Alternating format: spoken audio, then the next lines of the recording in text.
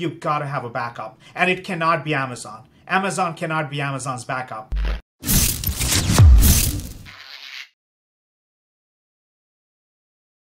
All right, Manish, thanks for joining the call, my friend, from Connecticut today. How is things out there on the East Coast for you? Things are a bit cloudy here, but uh, it's a, still a great day, and thank you for having me, Neil. Yeah, it's great to have you here, man. So we're talking a little bit about things um, that are obviously relevant to ecom, but in, in in different channels, not just Amazon. I know you handle multi-channel fulfillment. Uh, let's talk a little bit about that because I know that's a it's a big piece of what you do in your business model. Uh, tell us, you know, what are you seeing? What's most relevant right now? If someone's listening to this and they've got a drop shipping or an Amazon store or some other thing else, what's something they should know right now that you feel uh, is important for them to hear?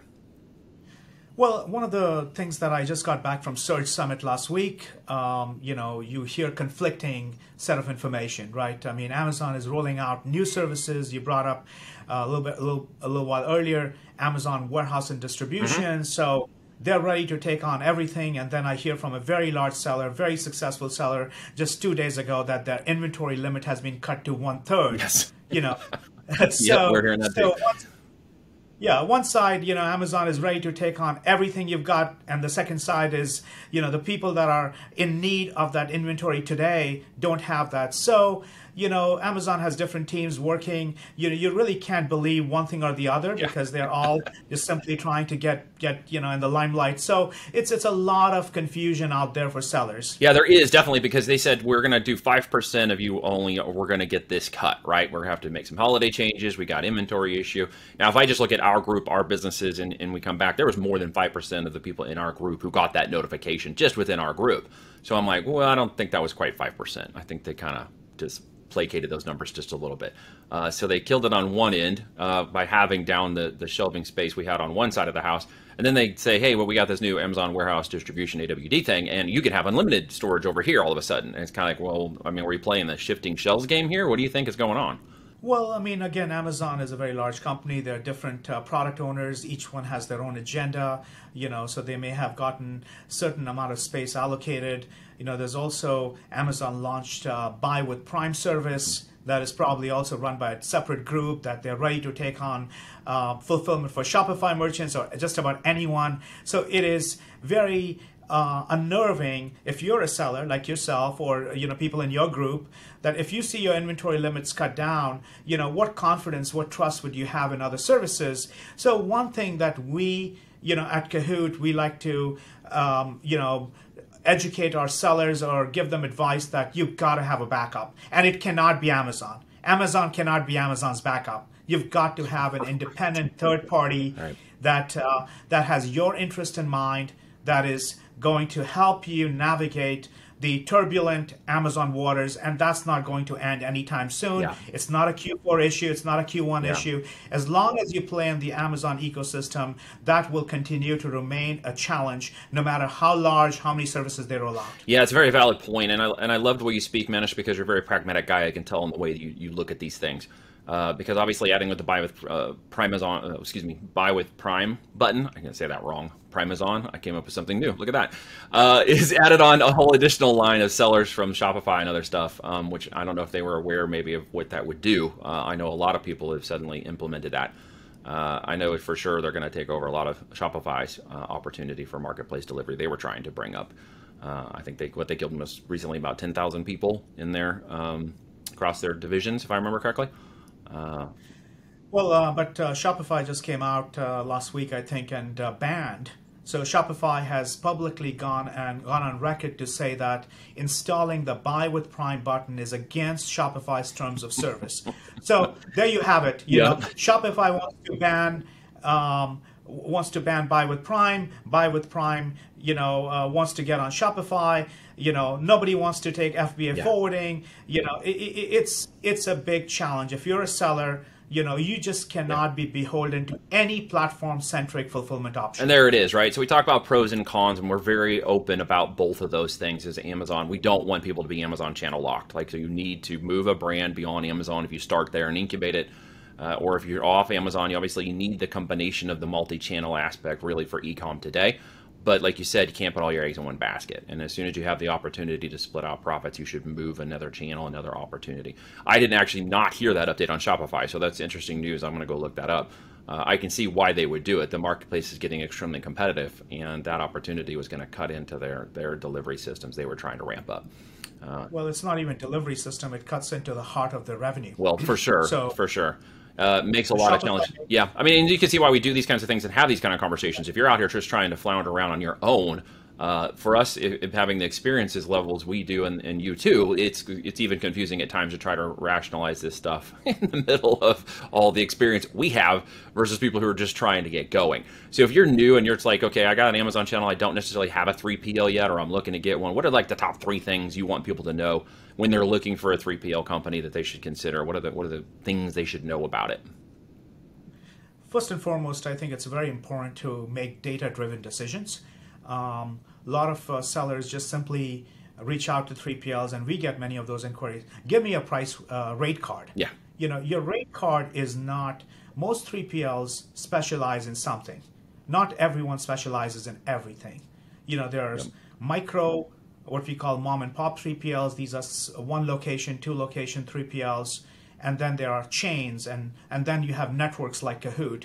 So, you know, it's very important to understand the 3PL should understand what kind of products are they going to deal with, what's the inbound and outbound frequency, what kind of services you're expecting, you know, what is most important to you if you're simply looking for an FBA forwarding service or are you looking for DTC fulfillment, what kind of products because there's the shipping cost. So for example, I'll give you a very simple example. You can get dirt cheap fulfillment. Let's just say even in the hottest market, Southern California, let's say dirt cheap storage.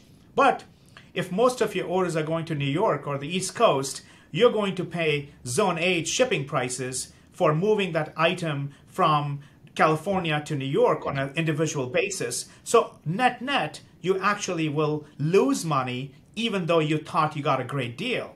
You know, those are things very important. If the 3PL is going to take one or two days extra to ship from a, a lead time, or you know, if they're going to use uh, uh, downgraded services that will take longer for the consumer to receive, all of those things are very important to understand upfront as to what are you trying to solve for. And, and that is one thing that is very important, at least at Cahoot. We don't blindly hand out pricing because we don't know if we are going to be the best fit and only information and data tells us whether we're going to be the right fit. So I would encourage sellers to really, you know, how many SKUs, what kind of orders are you fulfilling the count of orders let's do last 6 to 12 months of averages to make sure you know what's the typical inventory storage requirement how long do you store that inventory for and having all that information and what the shipping cost is going to be because many 3PLs do not you know they they charge a shipping cost so you could lose a lot of money on that front and how does it compare to FBA? Trying to make any comparison for with FBA so you know exactly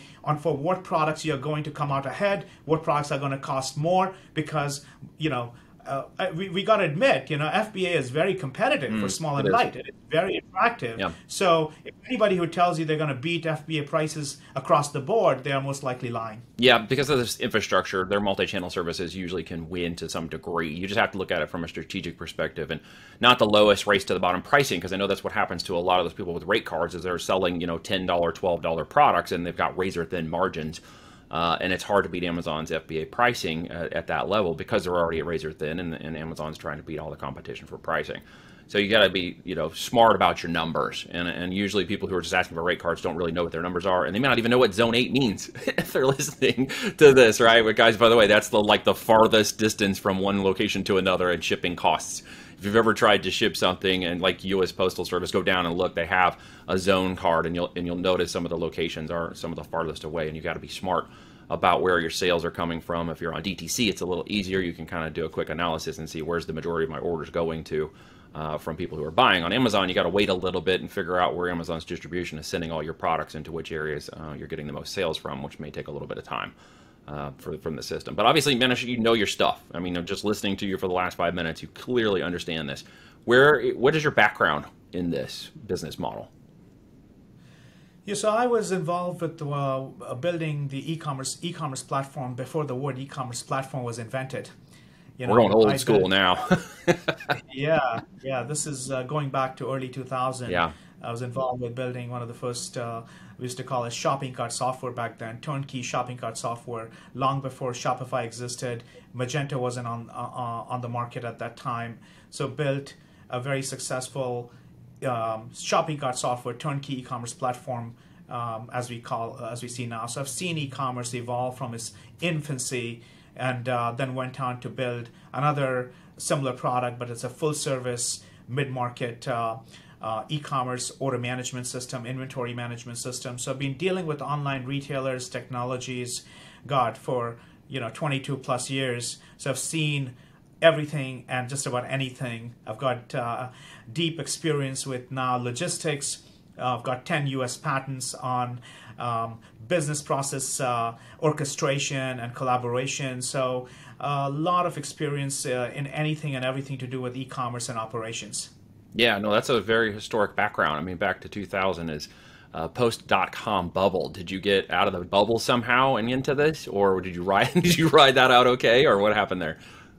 Yeah, I mean, you know, I think uh, we did uh, phenomenally well because uh, that was the time when uh, e-commerce was just taking off, yeah. and I think uh, some of the large, the e-toys of the world, they pretty much laid the foundation for the SMBs. You know, SMBs were getting on for the very first time. Yeah. You know, yeah. Uh, just like what the pandemic did, brought in a ton of people who started to sell online. But in this case, there were businesses that were offline, the brick and mortar, that suddenly saw themselves as an opportunity to sell online. And this is actually, I think this was before Amazon opened itself up yeah. as a marketplace. Yes. So this is Amazon Marketplace did not exist. Yahoo Shopping used to be the marketplace. Right. You may or may not remember. No, that. I do, but the eToys thing is taking me back in my brain for a second. I'm over here ramming. I haven't heard eToys in a long time.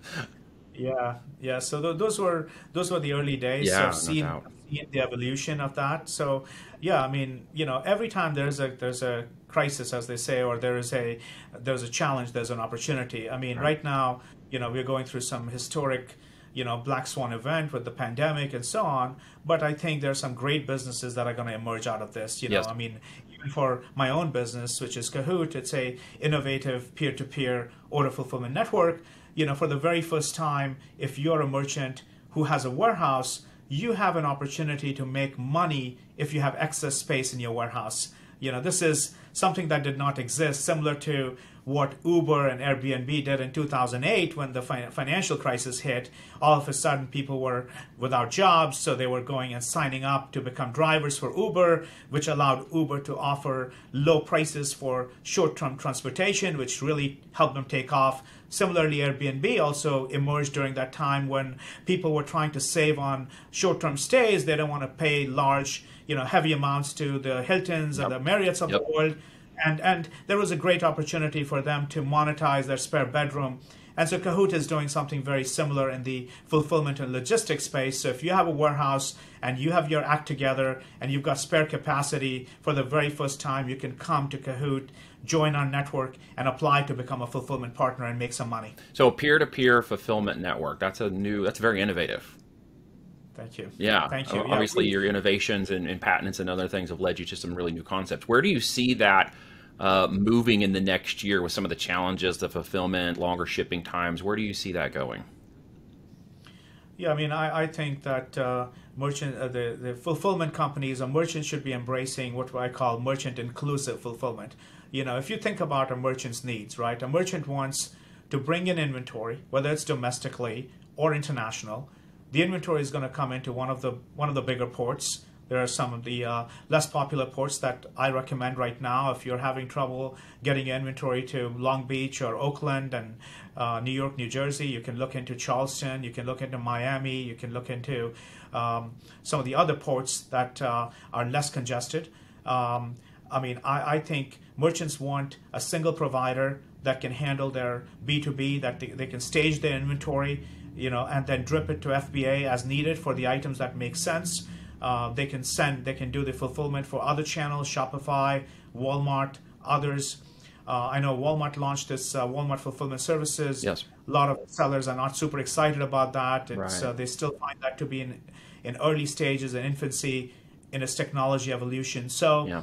and if you have a warehouse, you know, the people are going and rushing uh, to build new warehouses, but we believe that there are two million merchants in the U.S.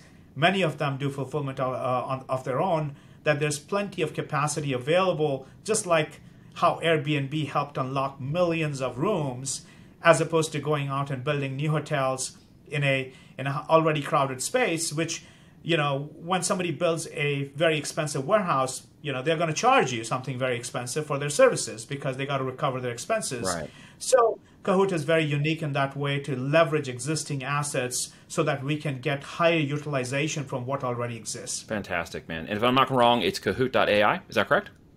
Cahoot.ai. Okay. Yes. And when they show up, what should uh, what should they expect to, to give you to get kind of the right information necessary? And we're, we're talking about sellers who are already in the marketplace in one capacity channel or another, but we're also talking about those who have additional warehouse space, maybe even other 3PLs who might want to utilize that space, if I'm hearing you correctly, can connect with you as well. Is that right? That's right. Uh, we have two parts of our network uh, the sellers that are looking to outsource fulfillment um, they can come to Cahoot, and uh, if they have, uh, you know, it, it's always a good idea once a year to evaluate existing. If you have a great deal, you know, come out to Cahoot. Let us reconfirm that you still have a great deal. You know, no harm done. It's uh, something to be aware of. Or if you have one location, you want to add a second location because you're getting orders from nationwide uh, we have the technology, the software that can make that happen seamlessly. And if you're super happy with your existing provider, we're not looking to replace them or displace them. That's just not the way how Cahoot operates. We would invite them to come join the Cahoot network so they can participate and they can stay part of it. Because if you've got a good thing going, we you know we have the technology to glue it all together. And on the supply side, as a, if you're a warehouse that has excess capacity that you want to monetize, then you come join and apply to become a fulfillment partner. And we invite 3PLs as well to come join as a fulfillment partner because let's let's face it, let's say you are a East Coast based 3PL, your customers, your merchants are demanding a location on the West Coast. So rather than losing that client entirely, you can come and partner with somebody so you can keep that client and, and meet that client's needs because if you choose to ignore that client's needs because to your point, Neil, Zone 8, shipping from New York to California, Zone 8, that's very expensive, however you slice it. Yep.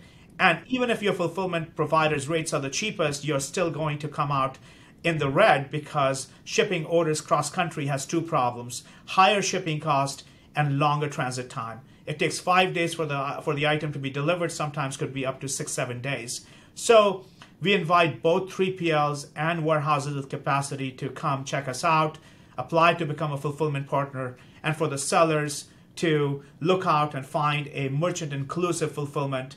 You know, you got to have a backup. And I'm talking about the seller, uh, Neil, that I spoke with mm-hmm. last week. They are one of the top sellers in, in the Amazon space. They are plugged in, you know, they're super smart. You know, you, you would know them. You know, even they don't have a backup. And that is, it's appalling to me that how can you put all the eggs in one basket? You get to be a certain size, risk management needs to be a big uh, part of your uh, operational component. so I would be surprised that they didn't have some of that in place. Uh, but I'm sure they could help you. Man, this is you. You're obviously got an innovative, unique idea for both seller uh, and 3PL. And folks, if you're listening to this, I would encourage you to check it out. The link will be in the show notes. Go to Cahoot.ai. Check out what Manish is doing. Obviously, you can hear he's a super smart guy who's figured something out that's really cool It will benefit both you and the 3PL provider you might be using at this point. Guys, I would encourage you to go check it out uh, and take a look at that. If uh, both again you're a seller and a 3PL, Manish, uh, any other final words of wisdom you want to leave on us today? Uh, thank you, Neil. I mean, there's one more thing. Uh, in the words of Steve Jobs, you know, uh, we we also Cahoot has the industry-leading shipping software. So, if you are not ready to outsource fulfillment, and you have a warehouse, you do fulfillment or shipping yourself, you know, Cahoot can save you a lot of time in rate shopping. You know, we did a side by side comparison between ShipStation and Cahoot, which is a leading product on the market. Yeah. And, you know, of course, as they say, when, uh, you know, Cahoot came out 21 times faster. You know, that's just the technology that Cahoot has built that reduces human error it reduces you know a human trying to compare UPS, FedEx, USPS rates, figuring out you know which one to pick, and rather than doing it one order at a time or applying any kind of crude rules, Cahoot's technology automates all of it. So if you want many hours back in your day, and I kid you not, we have a client that was spending four hours on a Sunday away from their family printing labels so that they could ship those orders out mm. on Monday. And they could not fulfill Monday's orders until Tuesday because you know, they just did not have the capacity. Yeah. And so there's some unique technology even on the shipping software front that I would encourage. Okay. You know, you reduce your labor. If you can save three hours, four hours of labor a day, that's money back in your pocket to do some other things that are more revenue producing. Very smart and an interesting angle on that. Uh, definitely. So a shipping station comparison. Uh, is a very good analogy for what your software does, and, and, obviously it's very powerful. We may have to check that out ourselves uh, for some of the projects we're working on. Thanks for bringing that up, man. I appreciate your time today, sir. Thank you, Neil. Um, anything else you'd like to cover, or um, you know? No, look, that's good for me at this point, unless you have something else you would like us to know. No, I mean I think just uh, merchants should be aware that Amazon has asked F- FBA has added uh, peak fulfillment surcharge of six to eight percent for the very first time. Uh, that's I think coming uh, getting rolled out on October 15. That's the fourth increase in FBA fees this year. Yes. February 1, they announced the previously announced uh, charges. Uh, I think in the first quarter they revamped the uh, small and light pricing. Um, April 28, they added 5% inflation surcharge. And then, of course, uh, the storage triples in Q4, as you know. So I would encourage sellers to go check out their bills and to make sure that uh, you know uh, nothing in the Amazon FBA world remains as is. So be mindful of that as you're ca- calculating your profitability, how much you're allocating to uh, to your advertising, return on advertising spend, and all that good stuff. So, and some other big news, right? I mean, Pharmapacks the number one Amazon seller going out of business. You know, mm, la- last, last. Yeah, their margins were yes. too thin, and I was just going to cover a little bit of that actually because the uh, on the antithesis side of that, one of the th- third largest uh, native acquisitions just occurred for the cosmetics company, a $630 million acquisition. Uh, so on the other side, you got to look at the differences between the two. Why did one go out of business, and why did one have such a tremendous exit? And then how to deal with the rising costs of obviously inflation or or fees, obviously as you mentioned, are going up.